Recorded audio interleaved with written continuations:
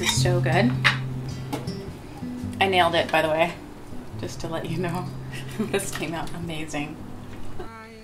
This soup will warm your bones. When the water's 58 and you're freezing your butt off because you just served two hours and you come home and you're freezing. You can take a hot shower and it still doesn't work. So this soup will warm your bones. If you're looking for an alternative to kind of the normal holiday traditional foods that you have, this is it.